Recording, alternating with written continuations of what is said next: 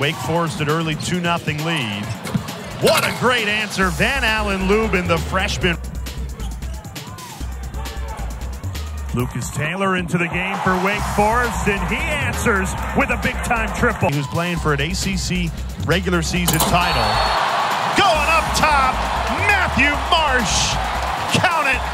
Offensive rebound. Taylor, another opportunity right to the rim. He's rejected in this game, but it feels like they haven't cashed in on those second chance opportunities. Great look inside. Appleby fires the three and hits it.